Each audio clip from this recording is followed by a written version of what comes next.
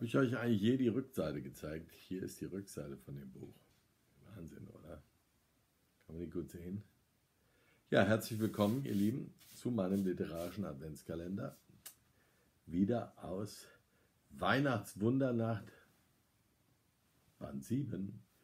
Der Band aus diesem Jahr, 2018, erschienen im Brendo Verlag und herausgegeben von Thomas Lappstein. Und heute die Geschichte Happy Birthday von Miriam Külmer-Vogt.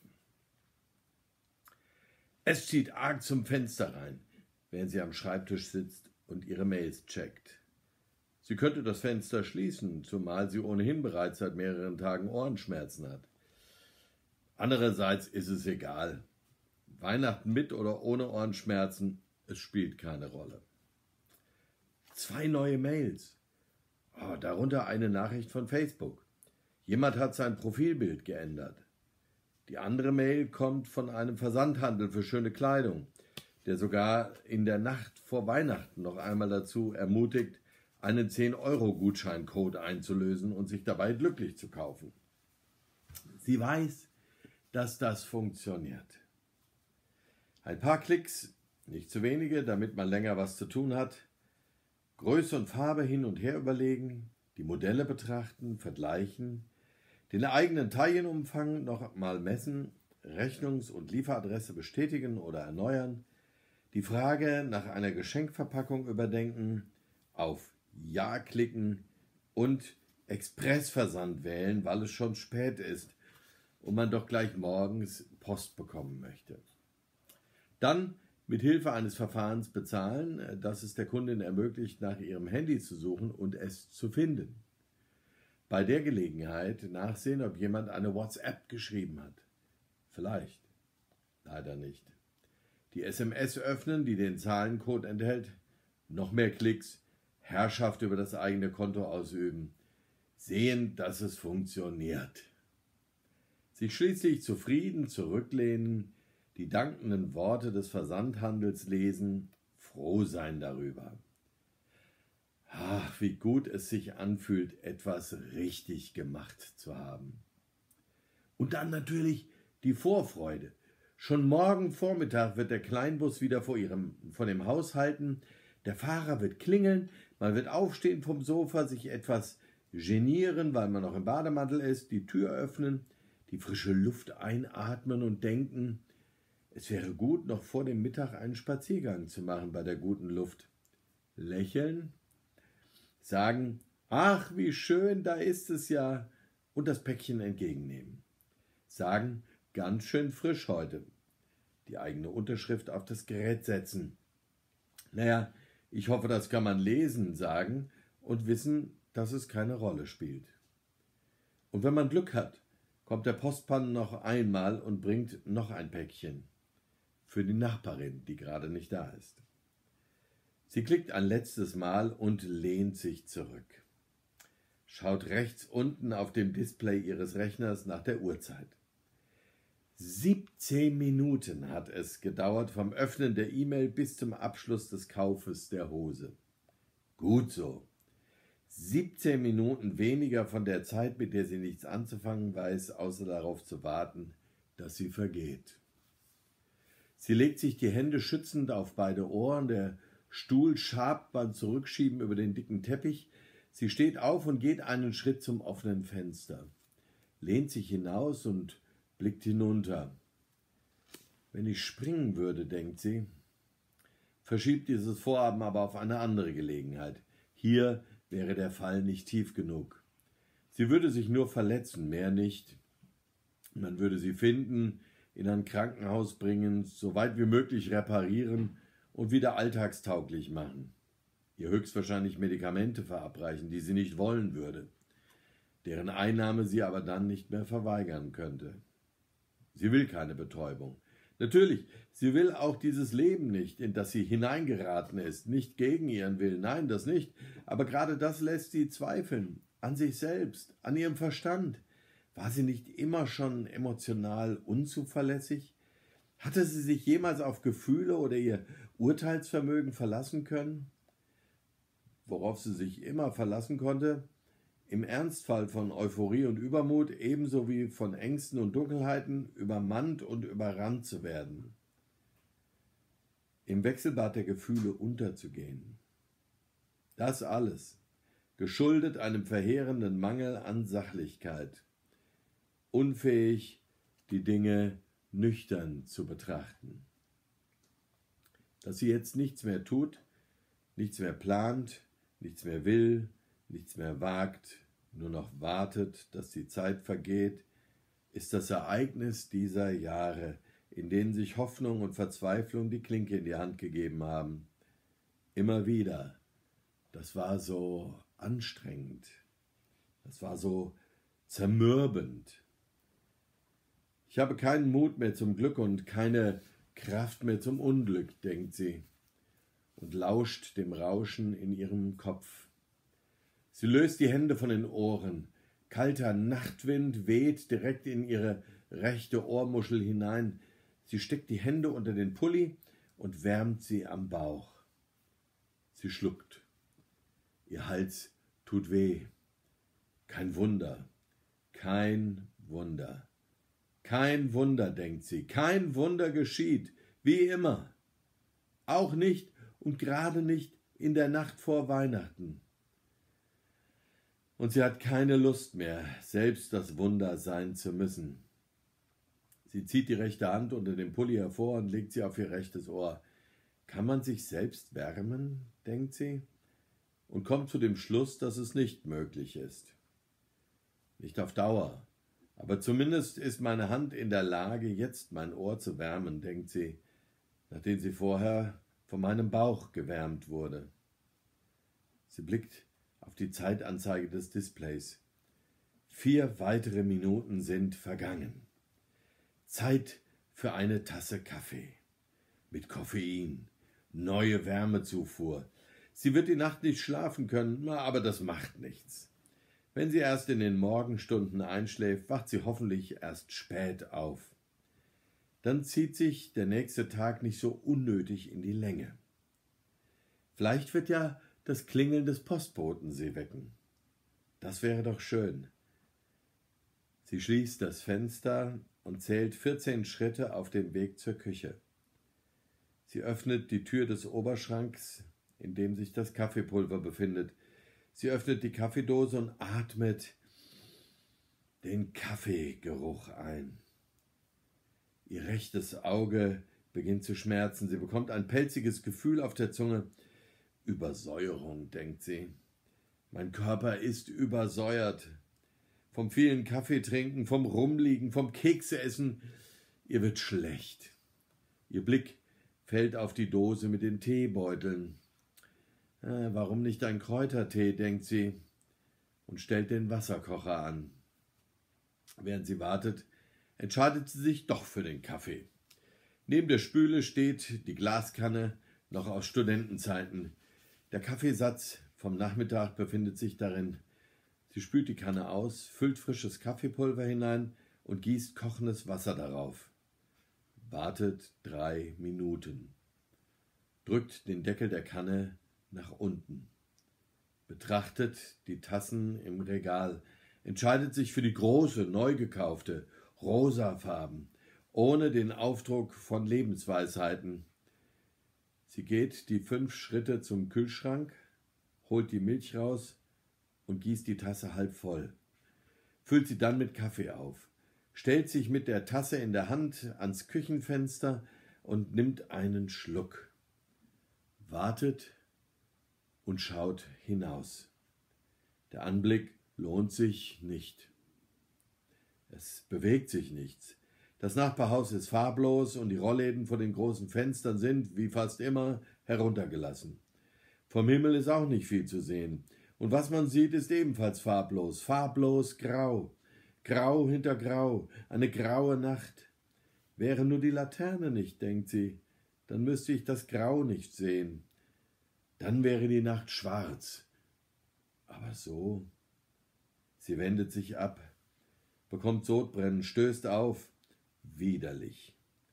Sie schüttet den Rest vom Kaffee in die Spüle und stellt die leere Tasse neben die Kanne, auf deren Boden sich nun neuer Kaffeesatz befindet. Kann man nicht aus Kaffeesatz die Zukunft lesen? Sie geht zum Rechner. Kaffeesatz, Zukunft lesen. Klick. Sie überfliegt kurz die Anleitung, steht auf, geht zurück in die Küche und nimmt eine weiße Tasse aus dem Regal, schüttet den Sud aus der Kanne hinein, schwenkt die Tasse im Kreis und schüttet die Brühe auf die Küchenplatte. Was in der Tasse haften bleibt, ist die Zukunft, wiederholt sie den Interneteintrag. Der Tassenboden ist schwarz. Der Kaffeesatz war zu wässrig gewesen. Mist. Sie hält die Tasse schräg und klopft mehrmals heftig von unten gegen den Tassenboden. Manchmal muss man der Zukunft einen Klaps geben, denkt sie. Es hilft. Weiße Flecken werden sichtbar. Sie läuft mit der Tasse in der Hand zurück zum Rechner. Was die Symbole bedeuten können, liest sie. Sie blickt in die Tasse. Sieht aus wie ein Haufen Kacke, denkt sie. Ein Haufen Kacke kommt als mögliches Symbol in dem Eintrag nicht vor. Ich werde einfach das Weiße nehmen, was zwischen der Kacke ist, denkt sie. Sozusagen das Negativ der Kacke. Das hat wenigstens so etwas wie eine Form. Sie geht die Liste der möglichen Symbole durch. Anker, Boot, Fisch. Sie blickt doch einmal in die Tasse. Vielleicht Weihnachtsbaum. Sie scrollt bis zum Ende der Liste. Weihnachtsbaum gibt es nicht. Würmer. Würmer sind eklig. Sie scrollt nochmal zum Anfang zurück. Eule. Sie blickt wieder auf das Kaffeesatznegativ auf dem Tassenboden. Eule passt wohl am ehesten. Also Eule. Bedeutung, Sie können Ihr Glück vermehren, sofern Sie sich geschickt anstellen. Liest sie. Na toll. Und wenn man sich nicht geschickt anstellt, dann hat man eben Pech gehabt. Vielleicht doch eher die Würmer? Du wirst bald ins Gras beißen und von Maden zerfressen werden? Sie beendet die Internetsitzung und bringt die Tasse zurück in die Küche, stellt sie in die Spüle, schaut auf die Uhr. Es ist kurz nach halb elf. Das war für heute die letzte Tasse Kaffee. Es klingelt. Sie stutzt. Um die Uhrzeit. Sie geht zur Tür und öffnet. Kälte schlägt ihr entgegen. Das Außenlicht ist automatisch angegangen. Happy Birthday, sagt die Person draußen vor der Tür und hält ihr ein Glas Sekt hin. Die Frau zieht ihren Bademantel fester um sich und verschränkt die Arme. Ich habe heute nicht Geburtstag. Wie lange muss man einen Menschen anschauen, um ihn zu erfassen? Eine Sekunde, zwei. Die Person draußen ist ebenfalls eine Frau, ähnlichen Alters vermutlich, unauffällig winterlich gekleidet, klarer Blick, gepflegt, unverdächtig, außer die Uhrzeit und außer das gefüllte Sektglas. Das macht sie verdächtig. Egal, sagt die Frau jetzt, auf ihr Wohl. Die Frau im Bademantel kneift die Augen zusammen. Nun machen Sie schon, sagt die andere Frau, trinken Sie sich ein bisschen Mut an. Die Frau im Bademantel nimmt das Glas entgegen, riecht daran, nippt. Sekt, denkt sie. Also dann, auf mein Wohl. Und jetzt ziehen Sie sich was an, sagt die Frau draußen. Wir wollen los, Sie sind die Letzte. Die Frau im Bademantel macht einen Schritt nach vorne und schaut auf die Straße. Im Licht der Laterne sieht sie ein paar Gestalten. Vielleicht sechs, nein sieben. Den einen Mann da, den kennt sie doch. Flüchtig, die anderen sind ihr unbekannt. Wo, wobei, es ist zu dunkel, um sicher gehen zu können. Und manche haben ihre Kapuzen bis weit in die Stirn gezogen. Wohin gehen wir? fragt sie. Geburtstag feiern, nun machen Sie schon. Die vielen Tage, an denen nichts passiert, die Kopfschmerzen vom Heulen, der widerliche Kaffeekonsum, der Irrsinn, wenn man anfängt, sich auf Spam-Mails zu freuen, weil sich ja sonst niemand meldet, sich selbst auch bei niemandem melden, sich nicht aufraffen können. Was bringt's auch? Die eingestaubten Kerzen auf der Fensterbank, die Wochen und Monate, die so belanglos sind, dass es sich nicht lohnt, sie zu benennen. Sie trinkt den Sekt und stellt das Glas auf den Boden im Flur. Dann geht sie ins Schlafzimmer, zieht Bademantel und Nachthemd aus, wirft beides aufs Bett, blickt in den Spiegel, sieht sich selbst nackt, öffnet die Schranktür, wühlt in der Unterwäsche, zieht sich was an, geht zur Garderobe, greift nach dem Mantel, schlüpft hinein, überprüft die Taschen. Der Hausschlüssel ist da, wo er sein soll. Sie zieht die Stiefel an. Fertig? fragt die andere. Sie nickt, tritt aus dem Haus und schließt die Tür hinter sich zu. Sie geht die paar Stufen hinunter, über die Einfahrt auf die Straße. Niemand sagt etwas, daher sagt sie auch nichts. Die andere Frau läuft ein paar Schritte voraus. Die kleine Menge folgt ihr. Sie laufen hintereinander, wie aufgereiht, ein Waggon hinter dem anderen. Sie setzt sich als letzte in Bewegung, bildet das Schlusslicht. Sie gehen zügig, nicht zu schnell, aber auch nicht zu langsam. Kein gemütlicher Spaziergang, bei dem man miteinander spricht, sie laufen einfach hintereinander her. Der Zug der Traurigen, denkt sie. Ob jemand uns sieht?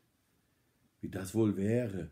Man schaut aus dem Fenster in der Nacht vor Weihnachten und sieht auf der Straße einen Menschenzug vorbeilaufen, schweigend, und man wundert sich, Nanu, was machen die denn da? Wo laufen die denn hin? Warum schweigen die denn? Aber da ist der Zug schon vorbei und man wendet sich vom Fenster ab und wieder seinem eigenen Leben zu, der Familie, der Partnerin, dem Freund, dem Baum, der geschmückt werden will, oder dem Fernseher, oder der Geige, oder der Flasche. Man zieht die Vorhänge zu und denkt, naja, wenn's was Wichtiges ist, wird's in der Zeitung stehen. Wenn nicht, dann nicht. Währenddessen läuft der Zug. Sie stehen jetzt auf der Brücke, auf der einen Brücke, die hoch genug ist, zurzeit gesperrt, wegen Einsturzgefahr. Aber für solche Fliegengewichte wie diese paar Traurigen es sind, ungefährlich. Sie stehen nebeneinander, Blick nach unten, die Kirchenuhr in der Ferne, weit weg, viel zu weit weg, schlägt Mitternacht. Happy Birthday, sagt die Frau, die vorausgegangen war. Und dann springen sie. Alle. Bis auf eine. Bis auf zwei. Was ist mit dir? Ich kann nicht, sagt die Frau, die sich als letzte eingereiht hatte. Warum nicht? fragt die andere. Ja, warum nicht? Oder auch warum? Oder warum nicht? Ich kann nicht, sagt sie. Ich erwarte morgen Vormittag ein Päckchen, ein Weihnachtsgeschenk, für mich eine Hose. Von wem? fragt die andere. Von mir selbst, sagt die Frau. Na dann, sagt die andere und springt. Die Frau, die sich als letzte eingereiht hatte, springt nicht. Es ist doch nur ein kleiner Schritt, ein kleiner Schritt nach vorne, stattdessen ein langer Weg zurück. Sie wendet sich ab und geht durch die Dunkelheit zurück. Ob jemand sie sieht? Wie das wohl wäre. Man schaut aus dem Fenster weit nach Mitternacht und sieht unten auf der Straße einen Menschen vorbeilaufen. Sie geht und geht, die Hauptstraße entlang. Ein Auto kommt ihr entgegen. Sie geht weiter. Ein Fußgänger kommt ihr entgegen. Guten Abend, sagt er. Guten Abend, sagt sie, und geht weiter biegt ab in die Straße, in der sie wohnt, steigt die paar Treppenstufen hinauf zur Haustür, greift in die rechte Manteltasche, schließt die Tür auf, öffnet sie, ein Schwall Wärme kommt ihr entgegen. Sie tritt ein, schließt die Tür hinter sich, lehnt sich mit dem Rücken dagegen, atmet, bückt sich und hebt das leere Sektglas vom Boden auf, geht damit in die Küche und stellt es in die Spüle. Zu der Tasse, mit dem inzwischen getrockneten Kaffeesatz Würmer, Eule, Kackhaufen. Sie schaut auf die Uhr. Halb vier Uhr morgens. Zeit, schlafen zu gehen. Das Klingeln, von dem sie geweckt wird, ist laut und schrill und penetrant. Sie reißt die Augen auf. Blendend weiß strahlt die Wintersonne direkt in ihr Schlafzimmer hinein. Sie schwingt sich aus dem Bett und ihr wird für einen Moment schwarz vor Augen. Sie setzt sich und hält sich den schmerzenden Kopf. So schlecht geträumt. Sie rafft sich auf, schleppt sich zum Fenster und lässt die Jalousie herunter. Es ist viel zu hell. Zu hell für ihren müden Schädel. Wieder klingelt es. Sie zieht sich schnell den Bademantel über und wankt aus dem Schlafzimmer in den Flur, nimmt die Wollmütze vom Haken an der Garderobe. Es muss jetzt mal Schluss sein mit diesen Ohrenschmerzen, denkt sie. Sie setzt die Mütze auf und geht zur Haustür. Öffnet sie. Der Paketzustelldienst. Zwei Päckchen. Eins für sie und eins für die Nachbarin, die gerade nicht da ist. Sie nimmt beide Päckchen entgegen, setzt ihre Unterschrift auf das Gerät, sagt, ich hoffe, das kann man lesen, und schließt die Tür. Sie legt beide Päckchen auf den Tisch und geht in die Küche. Erstmal eine Tasse Kaffee, denkt sie. In der Spüle stehen die Tasse, Weihnachtsbaum und das Sektglas. Das Sektglas. Sie fröstelt, schaltet das Radio ein, wartet, während die Musik läuft, trinkt ihren Kaffee, wartet, dann kommen die Nachrichten. In der vergangenen Nacht kam es zu. In ihrem Kopf beginnt es zu rauschen. Polizeiaussagen zufolge handelt es sich vermutlich um Aus, Ruhe. Nur ein kleiner Schritt nach vorne oder ein langer Weg zurück. Es klingelt wieder. Sie geht zur Tür und öffnet. Im Wintersonnenlicht steht die Nachbarin. Hallo, sagt sie, fröhliche Weihnachten. Sie müssten ein Päckchen für mich haben. Ja, einen Moment, die Frau zögert. Manchmal muss man der Zukunft einen Klaps geben. Wollen Sie vielleicht auf eine Tasse Kaffee reinkommen? Sie hält die Luft an. Sag nicht nein. Die Nachbarin blickt sie erstaunt an und sagt, warum nicht? Weihnachtsbaum. Die Nachbarin hebt die Hand.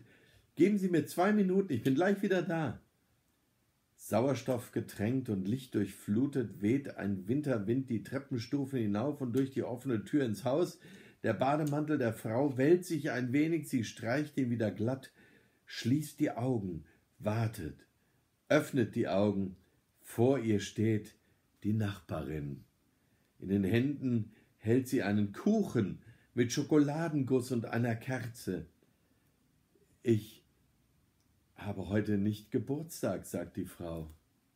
Aber ich, erwidert die Nachbarin und lacht, am 24. Dezember, stellen Sie sich das mal vor. Ja, dann kommen Sie doch rein, sagt die Frau und macht Platz damit die Nachbarin eintreten kann. Oh, ein Geschenk, ruft sie, drückt der Frau im Bademantel und mit Wollmütze auf dem Kopf den Kuchen in die Hand, greift nach dem als Geschenk verpackten Päckchen, das auf dem Tisch liegt, und zwinkert ihr zu. Das ist doch wohl nicht für mich, oder? Doch, das ist für Sie. Warum nicht? Ach kommen Sie, lacht die Nachbarin erneut. Sie wussten doch gar nicht, dass ich heute Geburtstag habe. Das stimmt. Die Frau stellt den Kuchen auf den Tisch. Die Nachbarin reißt erst die Verpackung und dann überrascht die Augen auf und lacht und ruft Nein, wie hübsch. Eine Hose mit roten Herzchen. Unverhofft und ungewohnt schleicht sich ein Lächeln auf das Gesicht der Frau, die zurückgegangen ist, den langen Weg durch die Nacht und die jetzt im Bademantel und mit Wollmütze auf dem Kopf in ihrer Wohnung steht, zusammen mit der Nachbarin, der sie eine Hose schenkt, aus heiterem Himmel, kitschig und hübsch, blau mit roten Herzchen. Happy Birthday, sagt sie und zündet die Kerze an. Wow, Mirjam, Mirjam, Mirjam, vielen, vielen Dank für diese wunderbare, hoffnungsvolle Geschichte. Das hat mich total berührt in meinem Herzen. Das ist so der Hammer, das ist Weihnachten, das ist Weihnachten, ihr Lieben. Nicht springen, sondern zurückgehen durch die Nacht und der Nachbarin eine blaue Hose mit roten Herzchen schenken. Hammermäßig. Das ist eine Geschichte. Also, ihr Lieben, ich wünsche euch noch einen super Tag und wir sehen uns morgen wieder beim nächsten Türchen in meinem literarischen Adventskalender. So, das muss ich jetzt erstmal auf mich wirken lassen. Wahrscheinlich am besten, indem ich eine Tasse Kaffee trinke. Mal gucken, was mein Satz sagt. Würmer? Kacke? Oder vielleicht doch Weihnachtsbaum? Hoffentlich.